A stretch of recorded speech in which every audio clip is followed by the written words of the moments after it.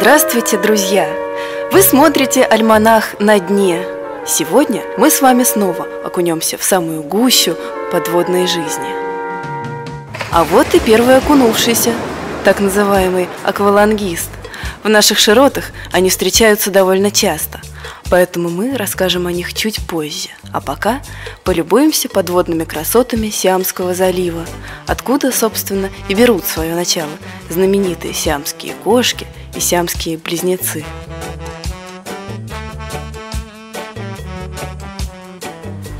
Не прошло и пары секунд, и из голубой дымки на нас вновь выплывает аквалангист. На этот раз оператор – забавное циклопическое существо с ограниченным полем зрения. Видит недалеко и только перед собой. Видите, и меня не заметила. Это морской скат, ни рыба, ни мясо. В развалинах робко прячутся малые морские губы.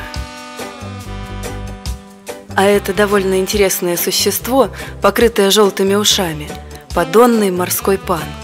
Это его губы мы только что видели. Пока он мирно спит, на нем доверчиво примостились чьи-то мозги. Полюбуйтесь на причудливость их извилин.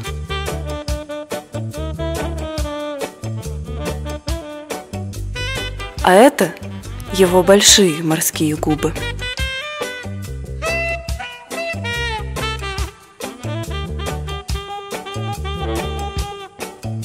Это тотемный полип.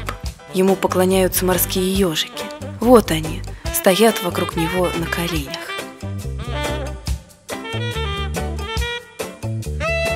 Справа по курсу уютно расположилось семейство морских пеньков – Трое с красными лысинками, скорее всего, дети, а этот в манерной кепке почтенный отец семейства.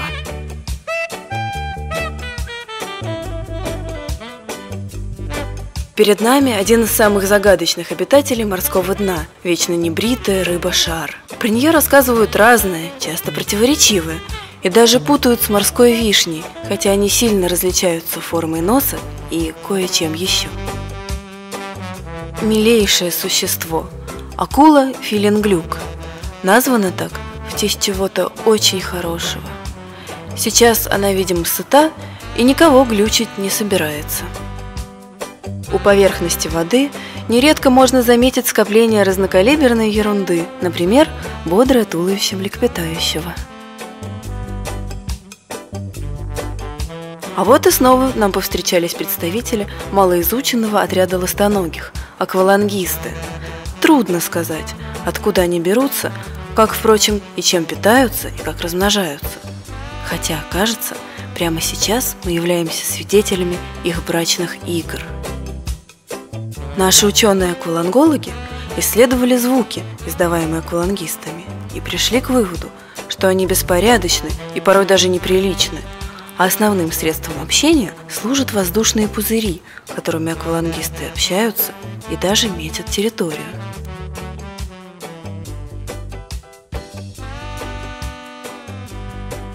Многие аквалангисты доверчиво поднимают со дна всякую всячину.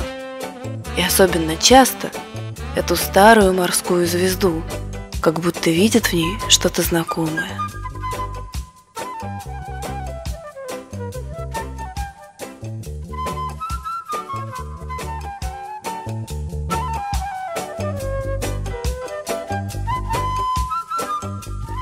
Посмотрите, как эта маленькая рыбка ловко удирает от нас.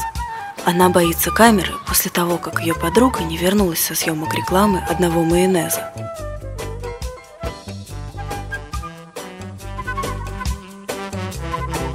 И вот мы подплываем к легендарной достопримечательности наших глубин – кораллу Колизею.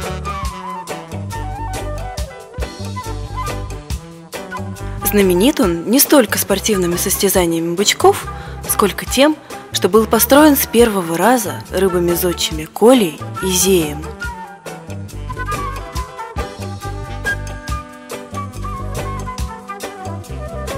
Не секрет, что на суше все предметы выглядят мельче на 40%, чем на самом деле.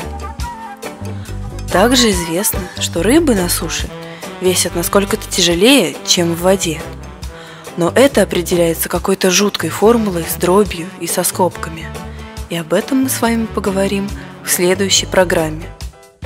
Также мы познакомим вас с двумя губастыми непоседами, рыбой-утюгом и рыбой-гантели. А на прощание мы поделимся с вами рецептом коктейля «Кусто». Взять полтора-два сухих аквалангиста и замочить их в соленой воде. Подготовленный продукт чистится от шкурки и фаршируется илом, водорослями и планктоном. Подавать с ломтиками морской капусты или морской свинки. На этом, дорогие друзья, позвольте вам отулыбаться. Чао!